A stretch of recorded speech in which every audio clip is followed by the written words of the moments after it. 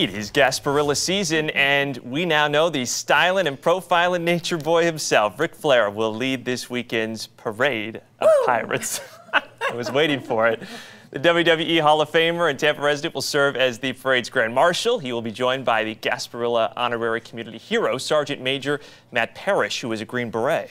Together, they will lead more than 95 parade floats, 50 krewes, seven marching bands, and the infamous Ye Mystic Krewe for Gasparilla for Saturday's Pirate Fest. Hundreds of thousands are, of course, expected to attend the big event.